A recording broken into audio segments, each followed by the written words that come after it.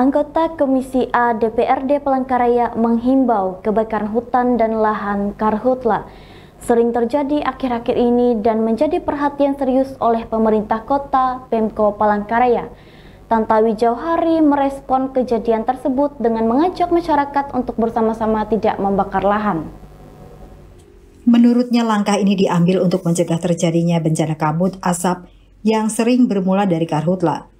Ia menekankan pentingnya peran aktif masyarakat dalam menjaga lingkungan dan mencegah terjadinya karhutla.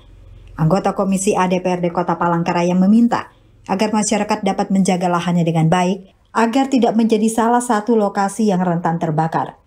Lebih lanjut, legislator asal Gerindra ini mengatakan, karhutla tidak hanya berdampak pada lingkungan, tetapi juga pada kesehatan masyarakat dan ekonomi lokal.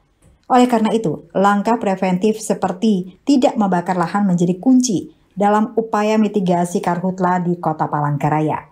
Selain itu, Tantawi juga menyoroti pentingnya penegakan hukum terhadap pelaku pembakaran lahan secara ilegal.